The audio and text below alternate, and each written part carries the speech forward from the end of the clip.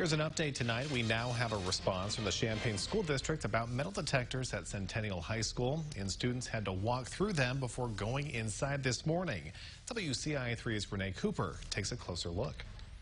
It was a much different start to the day at Centennial High School, where students had to walk through metal detectors. It was a little bit scary because, like, what's going on? It was, yeah, it was scary, confusion. After school, several students approached us on the sidewalk. I think it's good for safety reasons uh, in terms of how the first month has been. Last week, shots were fired in a field next to the high school. I asked the school district if the metal detectors were a response to the shots fired or the fact that police say a student brought a gun to school two weeks ago. That question wasn't answered. The execution today was interesting just because it took about 30 minutes to get into the school.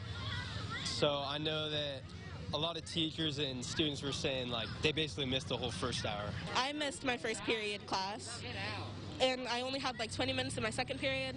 It's too much to go through.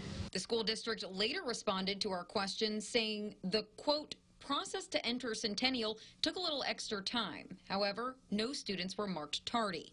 The email response also clarified that they are not permanently installed in any building, adding, quote, they are the same metal detectors and wands being used at the stadium prior to football games. Again, the devices are for portable use across the district. I also reached out to the Champaign Police Department for an update on the shots fired investigation. The department released a photo late last week of someone they believe was involved in the incident. Now, as of Wednesday night, I'm told the investigation is still ongoing and there are no further updates at this time. At Centennial High School, I'm Renee Cooper, WCIA3, your local news leader.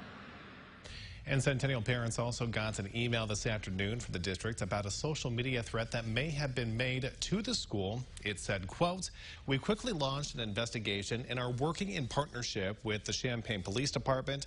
Please be assured the safety of each student and staff member remains a top priority at this point.